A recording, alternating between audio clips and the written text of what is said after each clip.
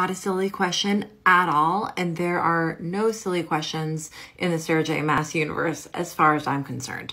Okay, for the tandem read, what I did is I just Googled tandem read Throne of Glass and then looked at the different checklists that come up. It looks like it's mainly the same checklist for for all of them. So I'll quickly show you. I actually went to Google Images and did tandem read Throne of Glass, and then this puppy comes up here, and I printed out this checklist when I was reading, and you can see how it breaks up when to do Empire of Storms versus Tower of Dawn.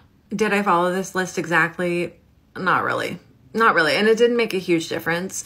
The reason why I like doing the tandem read is because in these two books, they're happening simultaneously in the timeline of Throne of Glass, but they're following different characters. And the characters that I loved were in Empire of Storms, and the characters I didn't love as much were in Tower of Dawn. So by reading both books simultaneously, it didn't feel like I was away from my favorite characters for an entire book. It also made me like some of the characters who I will not name right now, who are in Tower of Dawn. You'll find out when you do it.